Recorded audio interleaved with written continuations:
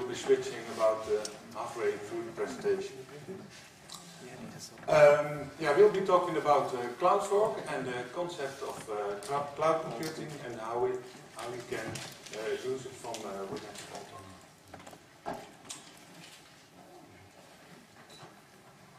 Um, we'll start off by uh, talking about uh, uh, the CloudFork library uh, and I developed and about the concept of cloud computing and what, what you can use it for.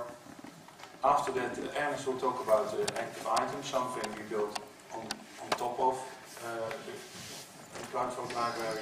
He will give a demo. And after that, we'd like to have a discussion with you about how there are three very common ways to do cloud computing. Uh, one is uh, software as a service. Uh, that means you use an existing software program on the internet. Uh, Salesforce.com is a very common example. But yeah, also Gmail. You can also see Gmail as a software service. Um, the other one is a platform as a service. Um, that is a platform where you can host your software and run uh, on the internet. And you don't have to worry about uh, scalability and backup, etc. The, the platform takes care of you for that. Uh, the uh, Google App Engine is a, is a good example of that, and they support uh, Python and uh, Java And uh, a third type is infrastructure as a service, and that's a bit more low level, and then they give you yeah, pieces of infrastructure you need, for example, yeah, computing power, also databases, messaging systems, storage, and then it's up to you to combine these infrastructure elements to have a, a yeah, a good architecture and, and a working system. And that was a short introduction to uh, cloud computing. Okay, thank you. Uh, now, what, what is CloudFork? Uh, CloudFork is a, a library in Smalltalk which, uh, well, the ambition is to uh, to give access to uh, the cloud computing APIs uh, from within Smalltalk, so to make those interfaces available. Um, yeah, we developed it in, uh, in Squeak and in Pharo. Uh, we developed it in such a way that it can easily be ported to other Smalltalk dialects. We've already ported it to uh, Visualworks and VA Smalltalk. Uh, we looked at the way the, the Seaside code was structured. So we learned a lot about how you can make a portable software library, or portable Smalltalk library. And it's open source and it's hosted uh, on SqueakSource. And in the, well, we started uh, December last year. The current version, well, there's a lot of cloud, cloud computing services available on the internet, but there's one that you can say uh, market leader, or, and that's uh, Amazon, the Amazon Web Services. So we're not talking about uh, the bookstore of Amazon, but the cloud, cloud computing services of Amazon. We focused on.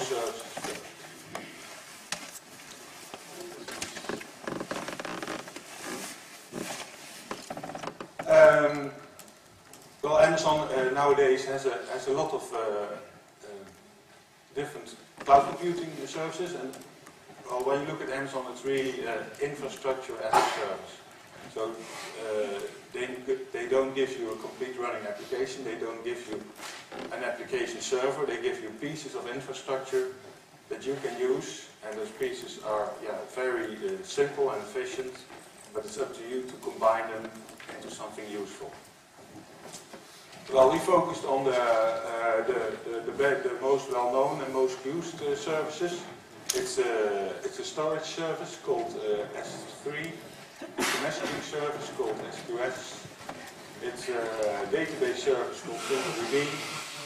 And um, we started on uh, yeah, the, the pure hiring, started of virtual machines. Uh, that is not Smalltalk virtual machines, but uh, operating system virtual machines, and they call that uh, the Elastic Computing Cloud, EC2. Uh, well, uh, all those services from Amazon have, have a lot in common. They, they are built upon the same architecture and the same business model. well, talking about the business model, um, well, you, you don't, if you want to use those services, you don't have to pay anything up front. You don't have to pay fixed amounts per month or per year. You only pay for what you use, and you don't have to uh, yeah, pre-register or pre-reserve anything. You can just start using the service, and at the end of the month, you will report, exact, exact usage details, and the, the dollar amount that you that will be deducted from your credit cards. Uh, well, all those um, infrastructure services that Amazon uses them internally for their own systems, and yeah, they've been a pretty successful uh, online internet store for about 10 years, so they learned a lot about uh, yeah, what is a scalable architecture, um, and all those lessons learned they put into their uh, infrastructure components. Um, I was at the QCon conference about three years ago. I, I, heard a speech from Werner Vogels, that's the uh, CTO of Amazon. He explained a lot about the, the architecture behind the Amazon infrastructure. Um, yeah, it was a pretty complex story. Um, I can't tell you the, uh, all the details, but uh, very important is the um, well, they they don't use uh, real transactions in the ACID form because uh, the theory is they, they don't scale enough. They don't scale to uh, Amazon scale. There's a theory, it's called the CAP theorem. A CAP stands for uh, consistency, availability, and partitioning. And uh, well, in, in an ideal system you would like all three, but the theory says you can only have two out of three. That means if you want to do transactions, you have a limit to your partitioning, to your scalability. Well, Amazon needs to have huge scalability, so they said we'll compromise a little bit uh, on the consistency, so we can scale forever. So we can scale in like a straight line. And it means they'll, instead of being always consistent, instead of having the ACID properties, say it will be eventually consistent. That means it's a highly distributed system and not, not all nodes have the exact same information at the exact same time. There can be delays in milliseconds, etc. when hardware fails or when network lines go down. But the system is designed to handle the, those failure situations. Because yeah, downtime is absolutely the, the worst thing you could have. It's, it's, better to have a, uh, data that is inconsistent for a few milliseconds than to have your system down because you're using distributed transactions. Um, well, of course, the services can, uh, can be accessed from all over the world. They actually are hosted in the US and in, the, in Europe and Ireland. Uh, the services have an interface. Um, you can choose, they, they offer a SOAP-based interface and a REST-based interface. Uh, we opted for the REST-based interface and you already see, yeah, that's about 95% of the customers do. You already see some features which are not accessible or very hard to use using the SOAP interface. It's a good advice to stick to the simpler REST interface. And the last point, um, well, the, the, infrastructure components are usually scalable. You can put uh, terabytes of data in it and, and put it under a lot of load and it will work perfectly. But they tried, the only thing, the only way they could accomplish that is by keeping things simple. So the, they're not very complex APIs, they're pretty straightforward. And the whole philosophy behind the architecture is, is to keep it simple. Yes?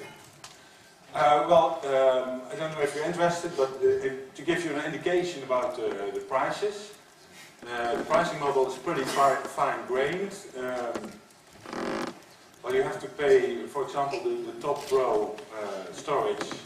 You have to pay an amount for the amount, amount of data you store per month, 50 dollar cents, and you have to pay for uh, yeah, network traffic, data coming in and going out, and a very small amount for, for the number of, of API calls you do.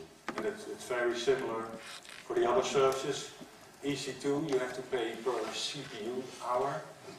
You can rent a very small virtual machine, which is pretty cheap.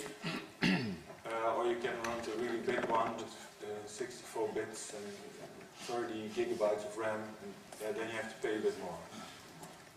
And most of the virtual machines have, have uh, some kind of a Linux version OS installed, but it's also possible to rent a Windows server, and then you have to pay a little bit extra for the Microsoft uh, license. But it's also pay as you use, you don't have to buy separately. Uh, okay, now a bit of details about the S3, the storage server. Um, well, the concepts they use are uh, ob uh, buckets, objects, and keys. A bucket is uh, yeah, like a large container, really unlimited in size.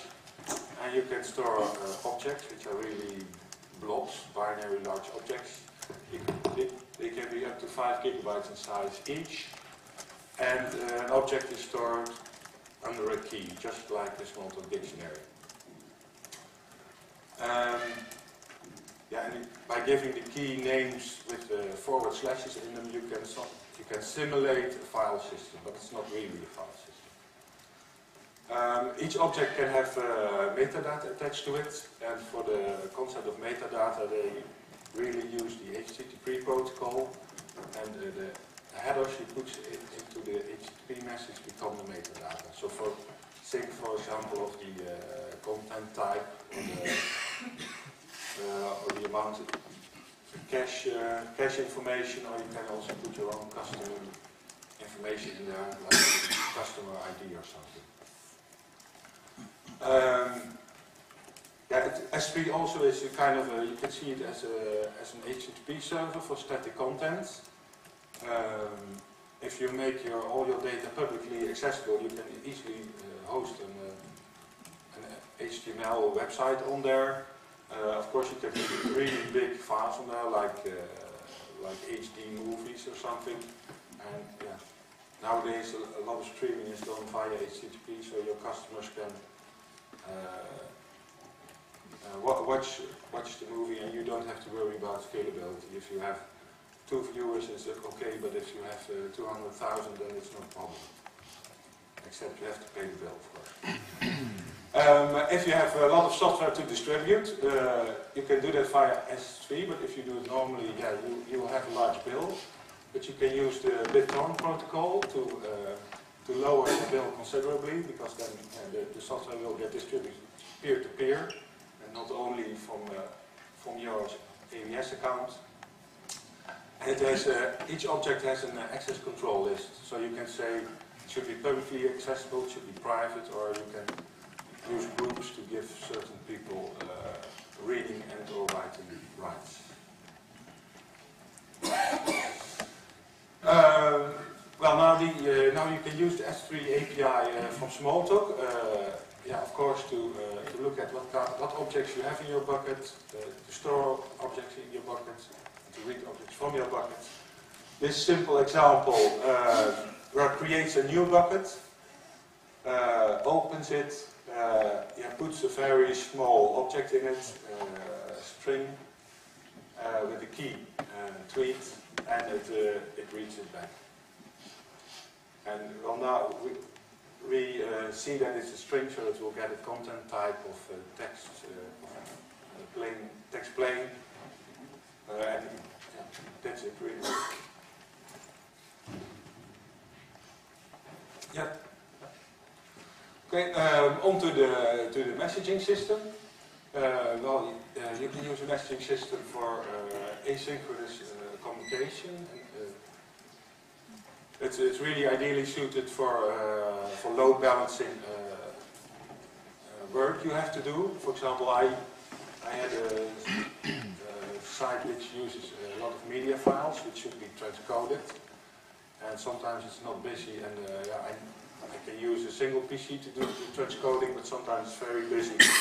I need to do a lot of transcoding. Uh, well, if I use, if I just put all those transcoding jobs in a queue and I look at the, the amount of jobs in the queue and I say, oh, I need to start another uh, virtual machine process doing the transcoding. It, it, it's really easy to set up and it's really easy to scale. And uh, yeah, the, the messaging system is, is, a very important element uh, for that.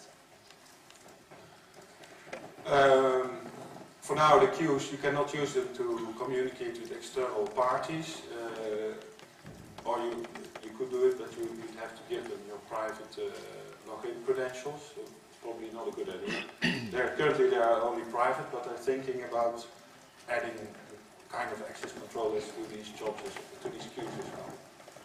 Messages uh, need to be pretty small, about uh, 8, of 8 kilobytes. So if you need to transfer something big, you have to store it on S3 and just put the, the key to the to the big object in the, in the message.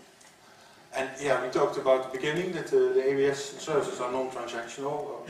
It's obvious they operate over HTTP, so the transaction would be very hard.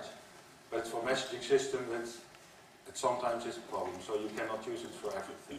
I wouldn't use it, to, for example, to transfer money. Okay. Um, yeah, simple example, uh, very similar to S3, but now uh, we create a queue, uh, we open the queue. Not, in most situations, the queues are already there, of course. Uh, well, you could send messages uh, and receive messages. That's really simple. Um, the receiving uses, uh, well, you have to, to poll for new messages. Uh, but if there, you can say, I want uh, 20, if there are more messages available, you can have, for example, receive 20 messages in one receive operation. What happens when there's no message? Um, you immediately return with no message. Uh, SimpleDB. Um, well, as the name says, it's a, uh, it's a database system, but it's a simple database system. It's, uh, it's not relational, it's not object-oriented. Um, but it's, it's huge. It can, uh, yeah, uh, you don't have to administer it. Um, you don't have to configure it in some kind of complex way to make it scale. You don't have to make indexes. It's all done automatically for you. Um, and from a, well, if you look at it from a Smalltalk perspective, you can say it's a, it's a very big uh, dictionary. Um, and in SimpleDB you make uh, domains, and you can put uh, items in those domains. Uh, I think about a billion per domain. And an item uh, yeah, has key value pairs. And uh, the special characteristic of SimpleDB is that uh, those values can be, you can have multiple values per attribute. I think there are, yeah, there are, these kinds of databases are now becoming more popular. They're sometimes called uh, key value stores. Um, well, of course, they don't give you all the features of a, of a truly relational database or an object-oriented database. The, uh, the API is much simpler, but uh, but also, yeah, it's very easy to scale it. If your requirements are not that complex, it's an ideal system. But of course, not not for all situations. If you have complex joins or, or other stuff, yeah, this is not uh, not for you. Um, and this is the only service, I think they did that to compete with, uh, with Microsoft that actually is free to use until a certain uh, yeah, amount of, uh, of data and an amount of queries per hour. And then only then you have to start paying. It's comparable with uh, the big table from uh, Google. Uh, here it's, it's again the structure. So you, for one account you can have up to 100 domains. Uh, well, the domains contains the items and the, the multi-valued attributes. It's important to know that you, oh, if you work a lot with relational data, you can see, ah, domain is something like a table, but it's it's really it's not. Um, because yeah, the, it's it's a schemaless database, so nothing stops you from putting different kinds of entities in the same domain and uh, how you how you distribute your data across different domains really has a lot to do with uh, the scalability. Um, for example, you can have a domain for testing, a domain for uh, user testing, and four domains for production. and just distribute your data across the domains. Um, again, uh, a simple uh, code example. Um, Yeah, here you- you see we, uh, we create a domain, open it. Uh, yeah, we have a, create a small class called uh, SimpleDB item, which is kind of like a dictionary, so you can uh, put some data in it and, and you can store the item. Um, and in our code, um, we, had, we had some discussion. What, what, what should be the, the protocol of our objects? Should we uh, try to make it as Smalltalk-like as possible, or should we use the, the Amazon names on a one-to-one uh, basis? Um, well, I think we, we, we support now both protocols. It's- simple to be, we do. Yeah. With two APIs. Yeah. But the, the problem is that you can, you can give a Smalltalk API, but of course the behavior is just a little bit different. So, so sometimes you, you- you shouldn't fool yourself. If the behavior is different, then the protocol should be different. Um, okay. Well, yeah. For the this is for the for the first part, I just have one uh, uh, one slide. Um, yeah, I've had experience with cloud computing uh, for about a year, year and a half now, both from Smalltalk and uh, from uh, from other languages. And um, well, I really see it as, as a very good uh, good concept. Um, yeah, as a company, it can give me a lot of flexibility, no upfront investments. Um, yeah, I don't have to deal with uh, a, a hosting company which doesn't understand me. I'm in uh, full control. I really like that. Um, I think also for the uh, that there here's an opportunity for the Smalltalk vendors. Um, for example, the pricing model is very interesting. Um, yeah, if you have a, if you have commercial Smalltalk implementation, you can make a EC2 images uh, of your Smalltalk for running uh, server applications. And instead of asking your customers to pay a license up front, you can just let them pay as they use. And if the application is successful in the end, you'll, you'll earn a lot more. Uh, but, uh, but your customers really don't have to have put money up in front to use your product. Um, and of course you can create best of breed architecture. So if, for example, uh, you have a Seaside application that, that needs to scale well. Uh, how do you set up the HTTP daemon in front of the Smalltalk? How do you set up the, the sticky load balancing? Uh, well, one person or one company can figure that out and he can publish that image uh, in the, the catalog of images. Are there any Smalltalk related images already in the community repository? Uh, I, I have found it. But uh, yeah, you can create something like seasidehosting.st, but then on uh, much more scalable. I think it's a very good opportunity for Gemstone to do last Yeah, yeah, exactly. Gemstone, of course, uh, but SimpleDB is nice, but not not for everything. Uh, Oracle already sells its databases as e EC2 images. Yeah, of course, Gemstone can do the same. Uh, well, now uh, I'll give uh, Ernest the microphone.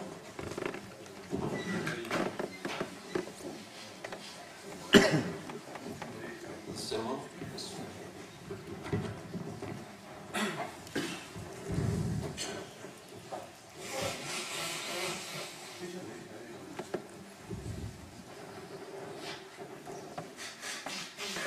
So, uh, in the next um, 10, 20 minutes I will um, talk to you through uh, Active Item Framework, which we built on top of uh. And I'll show you some code in the framework itself. Uh, when we started implementing all these APIs, S3, SQS, SimpleDB, then at first we thought, well, just first finish the API and then think about additional services. But soon I saw that SimpleDB could be one kind of persistent solution to, to, to many problems. And um, before I got back to the Smalltalk community, I was doing uh, Rails applications.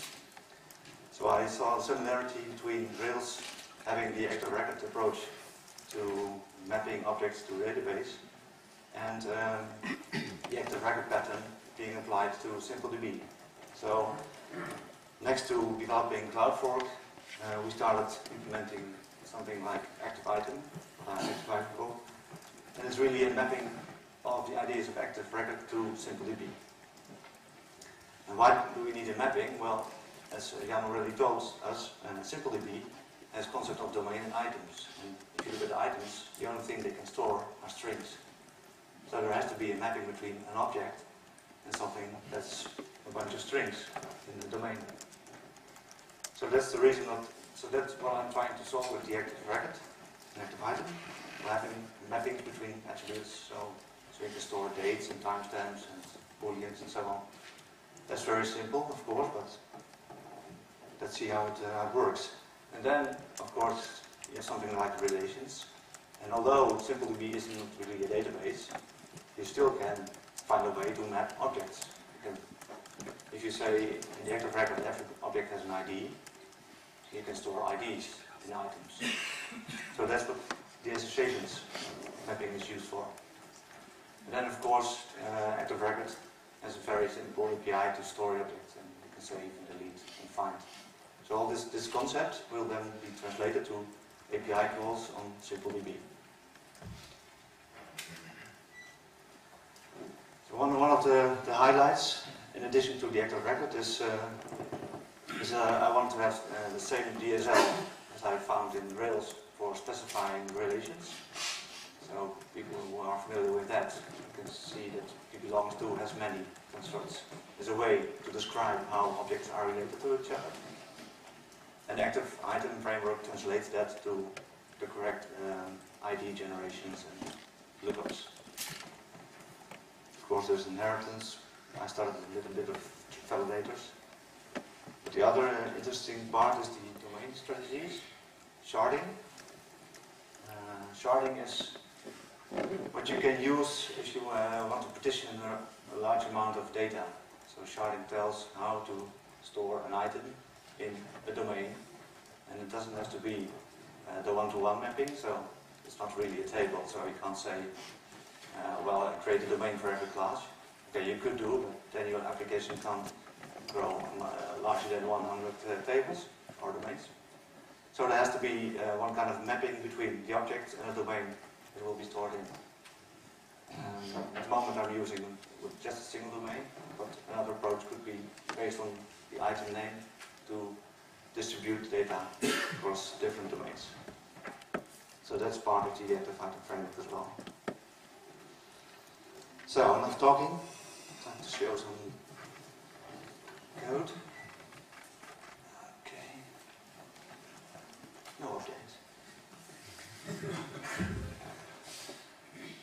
So um, I've here uh, Web Velocity framework uh, tool. I loaded uh, CloudFork packages. First show you the CloudFork framework. Have an impression. Okay, that's the next page. As you can see, we have uh, the A ADS SimpleDB classes um, loaded here, and we have platform platform specific part of CloudFork. So every Smalltalk implementation has one package dedicated for implementation of uh, platform specific parts. So you have to think about HTTP, communication, um, encryption, algorithms, XML, parsing, and stuff like that. so if you look at the active item framework, you see, sorry? What, what do you use for the encryption? They're, they're revealed then, the HMAC, yes? Um, well, Amazon really says how you should uh, use the service securely, and you have uh, a d- they provide the encryption, or how you Yeah. and you can If you, use yeah, if you, if you send a uh, request to Amazon, you have to encrypt it specific, using your own private keys. So to s- sign the message with Yeah. your private keys, and you Yeah. can use plain HTTPS or security. And like, uh, and you sign your keys using uh, yeah, there it is. It's a H264. So that's being done for you by platform.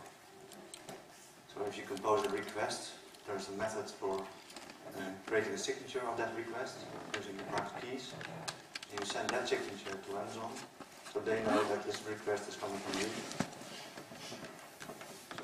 You send objects to somebody else. for instance. And also, each request contains a timestamp, also checked.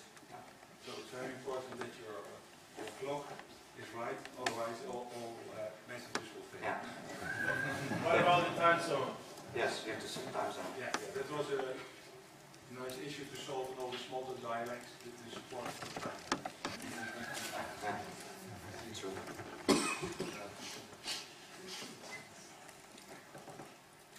So, um, really the only, only class you have to know about is uh, the active item uh, class, which will be the, the, the superclass of all items. And it has API to um, do finding, find all the objects in your domains. And there's another class, describer. The describer object is used to describe how your object will map to items. So that your, for instance, uh, types, you can say that your class has a boolean and date and so on. And this implementation also uses the idea of convention over configuration. So it's trying to figure out um, what um, the classes are of the type or of the names you're using. Let me show you the example of a project I'm working at the moment. Um, to explain what I mean.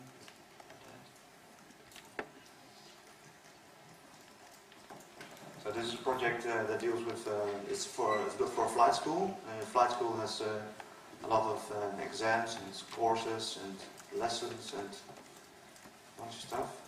And one of the core objects is of course a question because this flight school has a training, training part which you have to answer questions for to take exams.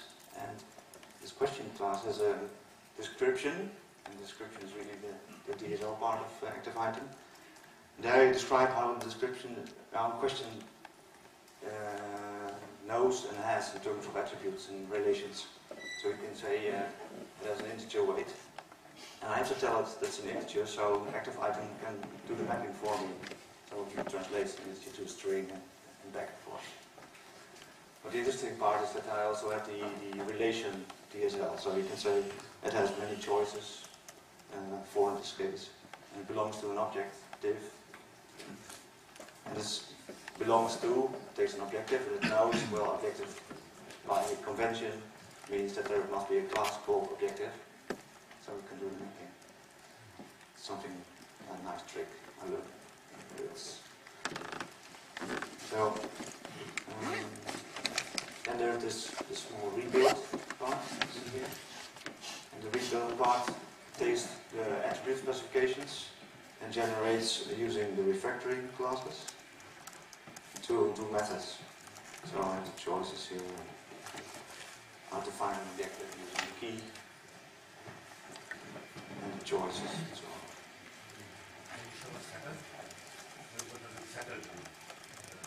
Of this, is second. So what, what Active Item uh, is doing is looking at uh, the value of choices and when it got uh, active items, it stores the IDs. That's what I do. But there are different mappings. Uh, I,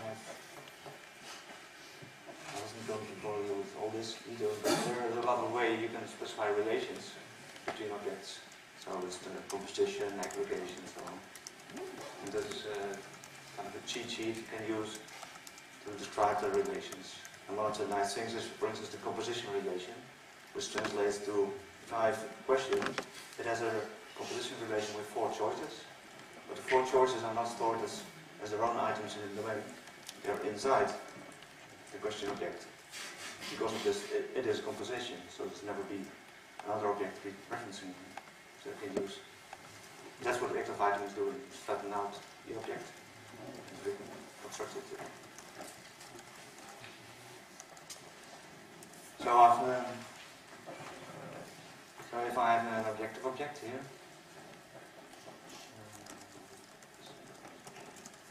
inspect it.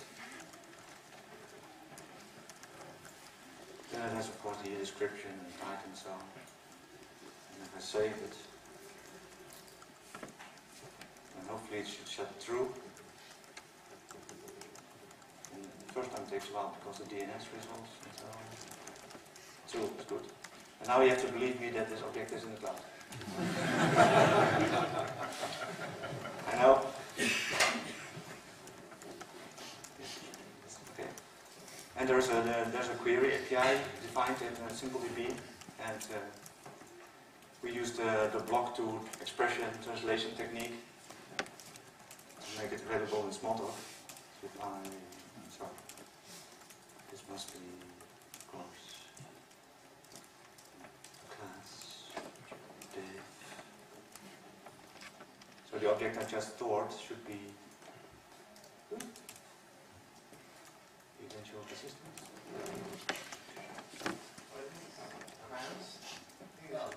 Oh. Thank you.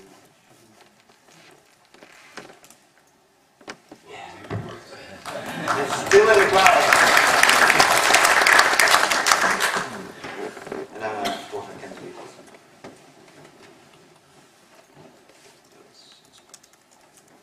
True. If it says false, then the errors will tell me why. And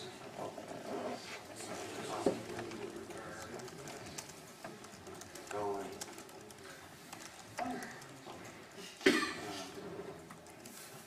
Where is it? I lost it. Excuse me. Yeah. Yeah, I- Yeah. if it- if the answer is too long, I ask to decide, but you said something about uh, block syntax translation or something to build the query. Yes, yes. I don't, I don't really know what that is. Is Oh, it sorry. Kind of what CSI uses, and No, if it's too long, I, I'm. I know Glorp uses it, but what I'm doing here is uh, this, this block is translated to a uh, SimpleDB expression. The way I do it is I insert a magic object. It's kind of a dumb object. It captures, doesn't understand, and constructs.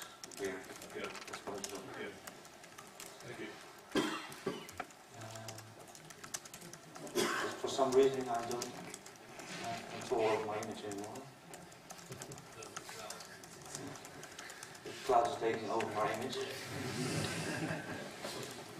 Which is it's,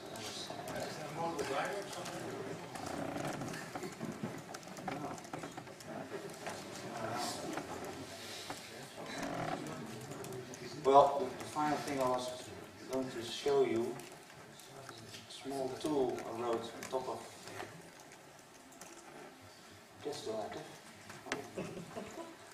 So this uh, this eyebrow tool is really a, a viewer of this all the classes of uh, of uh, that's using the framework on the left. And this is a way to explore all the, all the objects that are stored in the domain. So on the top you see this is uh, a user stored in the domain ca.test.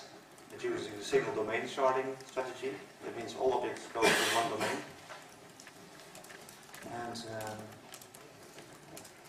because in active items you specify what the types of the attributes are and how the relations are um, defined, you can uh, see all type information on top. And if you go to questions, it's more interesting. There you see that actually the choice is something I can follow. And it shows me the choices that are stored in the item. And if you go back to the question, follow objectives. So this is this image talking to Amazon getting the data. And although it seems perhaps to you as rather normal behavior, um, the interesting part is you can run this application uh, on an EC2 image close to where SimpleDB is. And there's two advantages. You don't have the latency anymore. Second, you don't have to pay for communication between EC2 and SimpleDB. So you can speed up the application very good. I think considering the time we have to Yeah. to the application.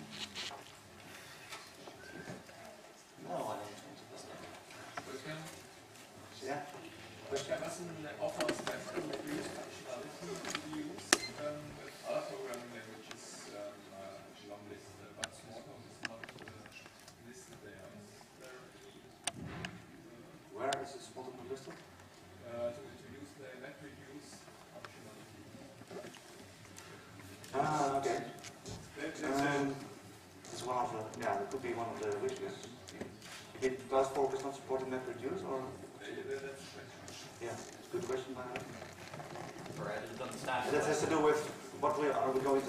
Sorry? Repeat the question. I think the real question was. Um, Okay, I, I wanted to know um, whether the MapReduce functionality offered by Amazon could be used uh, with Smalltalk too. okay, I'm not aware of the API of MapReduce, but uh, it's on our wish list. There it is. I think the, the map reduce works by sending code to Amazon and they, then they evaluate it on each element of a big array distributed. And they support a variety, variety of languages, they, but they don't, do not support small. I think that they have to Oh, support it. But you could provide the API to use MapReduce with Python from Smalltalk. Yeah. You could do that, of course, but you won't be able to upload the block to. Okay. Thank you. Yes? Please take over. Yeah, um, okay. Stefan? Yeah? Yes, sure. Yes, I built the application. for that, yes. For money? People pay me, yes. This is the only thing I want. Yeah. Yeah, I'm building two front ends. One is uh, flex-based, using Glare data services. And one is uh, web front end, using WebVelocity for that. Okay, it's a commercial project. It's a commercial project, yeah, but Yeah, because that, that's something that we should also add. Okay, continue after, after you finish, I want to say something.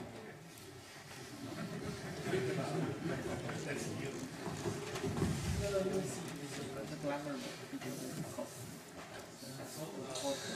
Um, okay. Oh,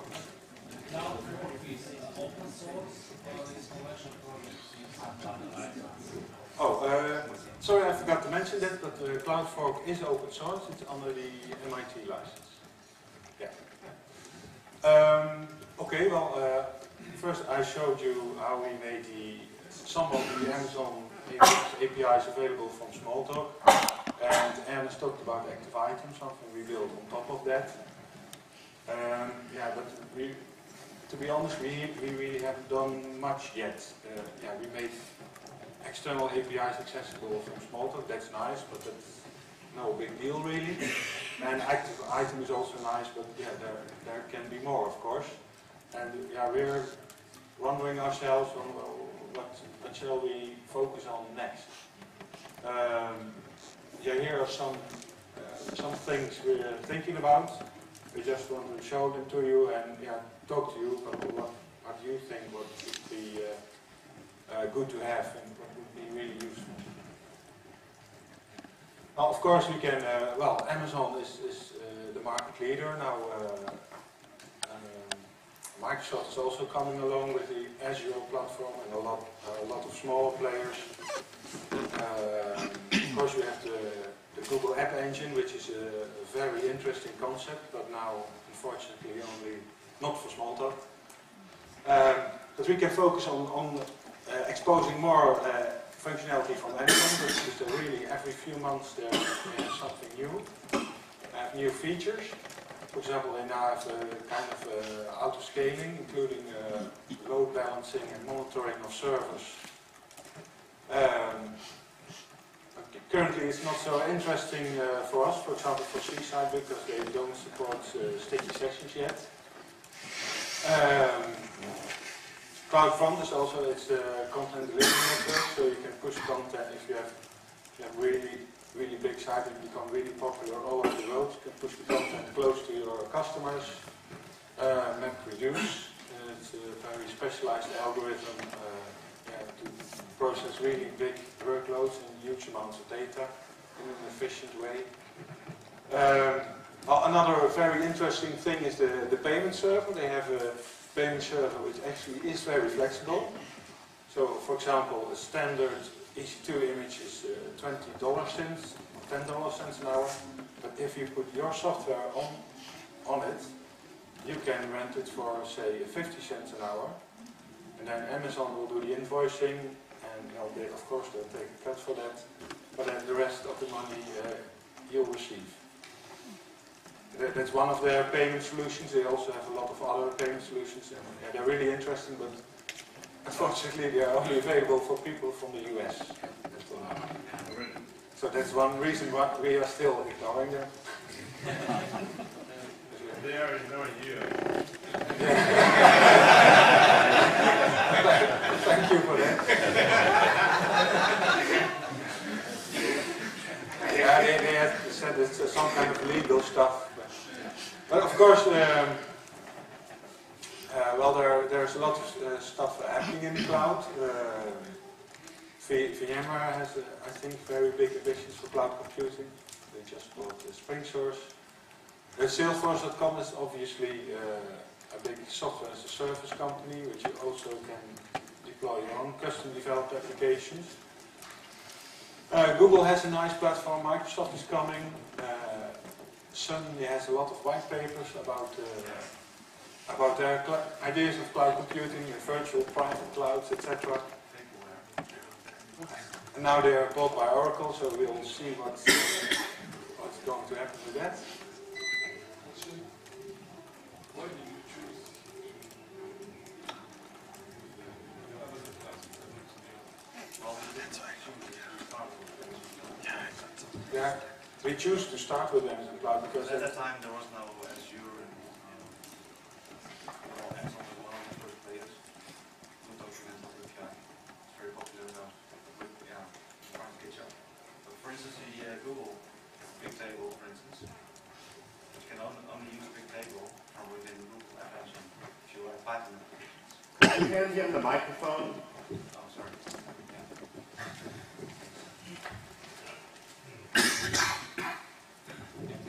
So we would like to uh, use the Bigtable uh, as a as another API in Cloudfork, but that's not accessible from a smaller image. So we have to write applications, deploy them on the App Engine, then you can use the um, Bigtable. And I'm, I'm not sure about uh, Microsoft Azure. They have this SQL Server-based database. Yeah, of course they focus on .NET, but I think it's also possible to run other Windows programs, so that there could be a small virtual machine. Okay. But they're, they have a, they're in a kind of preview mode, not a production.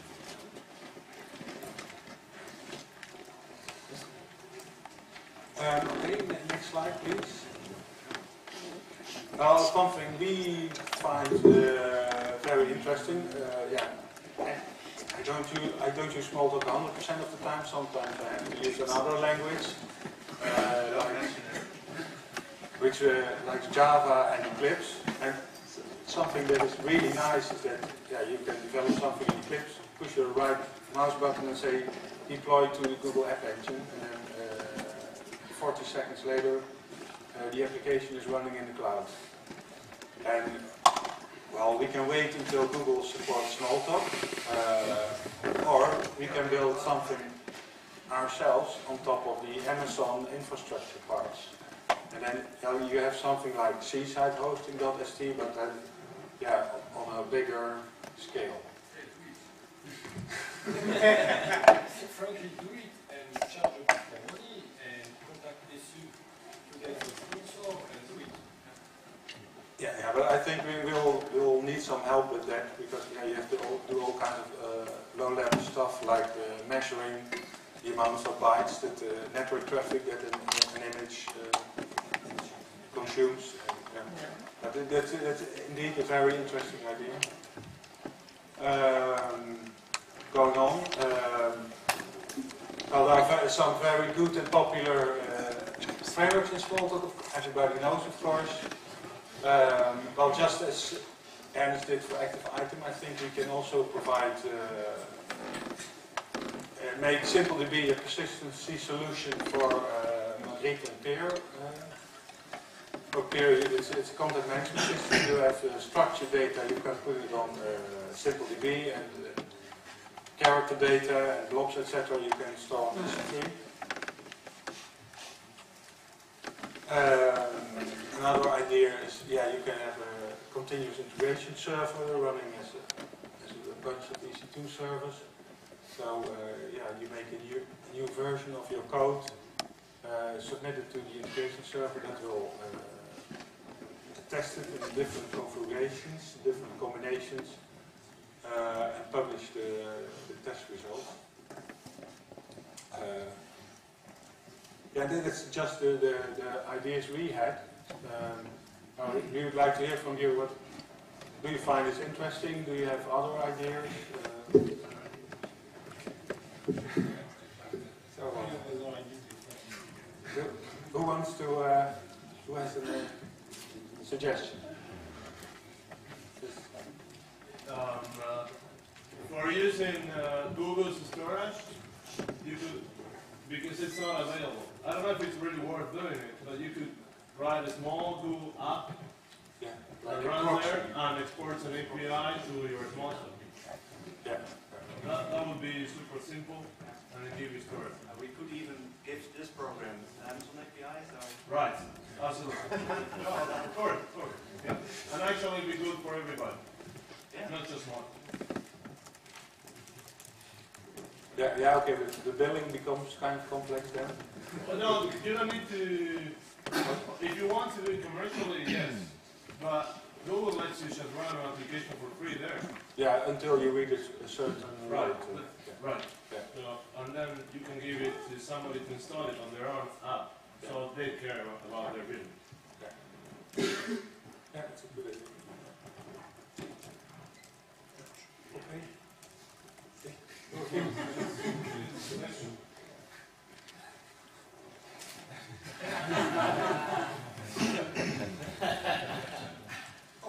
Uh, you were mentioning ports, and you've done several posts to several small posts. Uh, are you also maintaining them?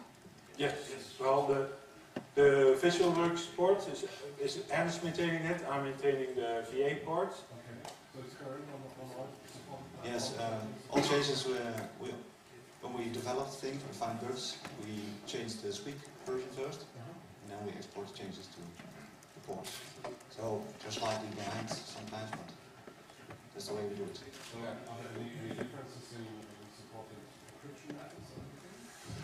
Um, I think there are some differences between the platforms. yeah. Well, there are a lot of differences in the implementations, but uh, they work the same. So, So all the encryption improvements are there all the platforms, and you can do yourself. uh, it, it's, the encryption is not that complex. Currently you can use SHA-2 or SHA-265, but they deprecated uh, SH2 because it's less secure.